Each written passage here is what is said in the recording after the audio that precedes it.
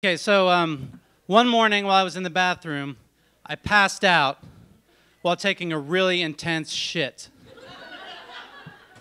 and at the emergency room, the doctor asked me what happened, and I said, it felt like I had to shit out a football. Like a regulation NFL football.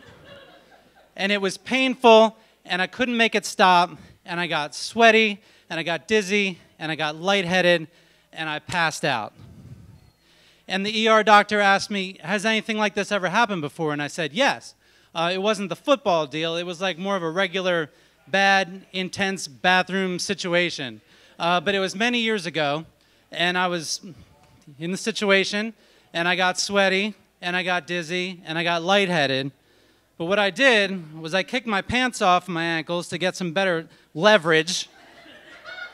A couple minutes later, I took off my shirt to wipe the sweat off of my forehead and then used it as a like a pillow when I put my head in my hands just for some comfort. But it didn't matter. I got more sweaty, more dizzy, more lightheaded, and I passed out. And when that happened, my body went into convulsions. And my wife at the time came running to see what was going on, and she opened up the bathroom door, and what she saw was me unconscious, convulsing, completely naked.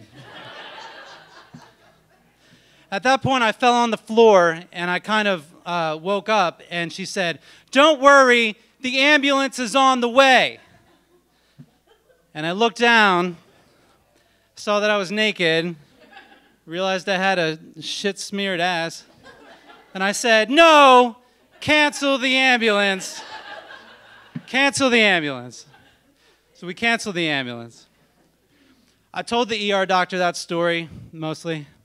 And she asked if anything like that had, had, had ever happened again. And I said, uh, well, almost. A couple years ago, um, I took my boss to a Phillies game, and on the way there, we stopped at a bar for a drink.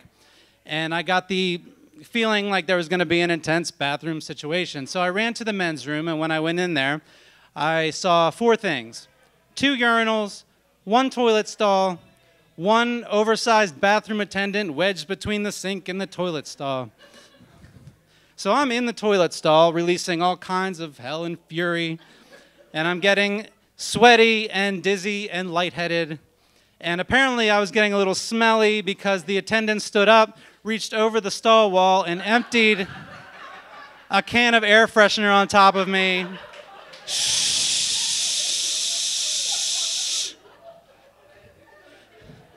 I think that helped bring me back to life.